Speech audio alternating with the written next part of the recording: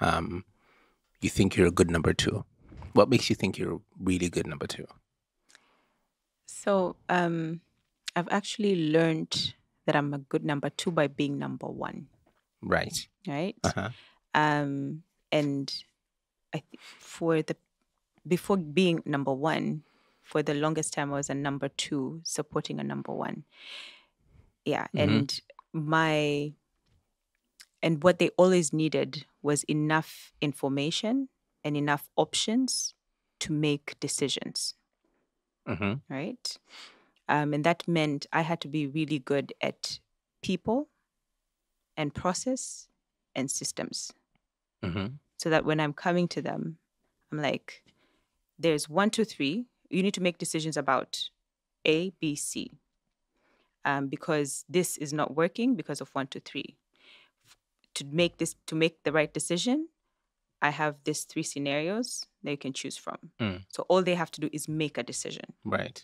Right? So you need to make it easy for them to make to make a decision. Yeah. And I think that comes from also a background in just managing communications because in managing communications one you you have to take in a lot of information really break it down to like dumb it down Mhm.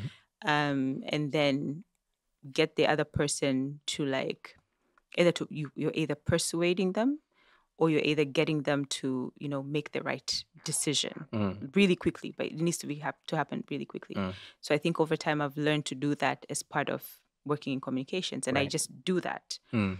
um, and i didn't realize how good i'd gotten and how it really served my number ones Mm. until i became number one and then you needed a number two. and then i had a number two and they're just not getting it and i'm just like They're not why you why are you coming to me with a problem you come to me with options for solutions solutions so we you can know make a decision. yes and you Yeah, don't just come it. you come with me you come to me with um, context of the problem yeah. the bottlenecks and the solutions Right. and no matter no matter how many Context, times the problem, and the solutions. Yes. Mm-hmm. um And no matter. and no matter how much i kind of like show like try to show them i saw like this was so foreign to, it was such a foreign aspect for them Was it natural to you for me it was when you were starting out? um yeah i think so Okay. um i'm trying to think back to my first job in radio i was always like that Okay. i don't know if it if it just came from um being a firstborn or the life i led before that i, I don't know it's Okay. just like it's something that I, I want you to make a decision Yes.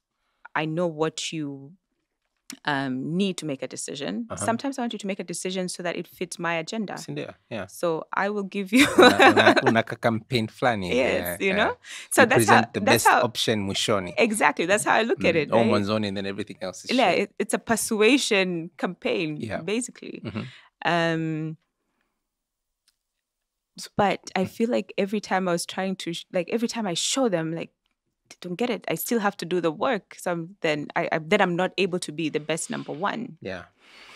but then I, and i came to realize training um a number two is really hard when you're at number one. Yeah. yeah. Um but when i was okay so anyway that's besides the point.